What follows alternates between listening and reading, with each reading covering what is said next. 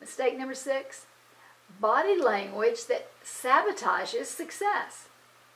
Now, sure, Q&A can be unnerving, but beware body language that says, I'm a loser.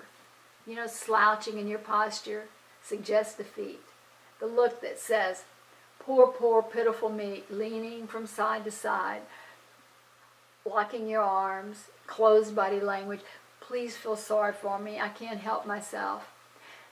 Other negative body language reveals signs of inward stress and shouts, I'm nervous, holding your own hand, either behind you or in front of you.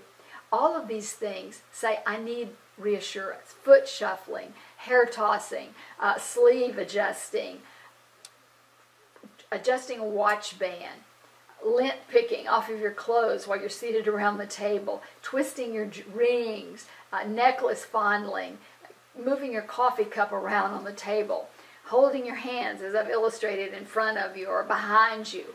All of those are reassuring nervous gestures. When standing during a sales presentation, some of those gestures scream, in fact, most of those gestures scream, I lack confidence. Crossing your arms in front of your chest is protection. Locking your arms behind your back, clasping your hands tightly in front of you says, I need mommy or daddy to hold my hand. None of these gestures, none of these slumping postures gives you or gives the buyer confidence in you.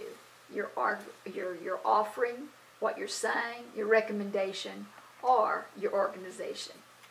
Responding to questions can be your biggest nightmare.